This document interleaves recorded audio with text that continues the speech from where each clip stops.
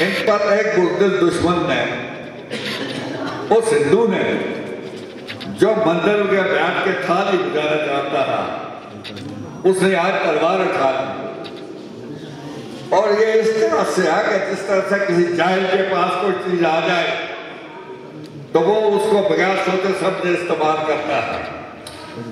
और यही हालत हमारे उस दुश्मन की है, जिसने आम शहरी अपनी ताकत का इस्तेमाल किया। यह मुसलमानों की रवायत नहीं है यह हिंदू का तरीका है।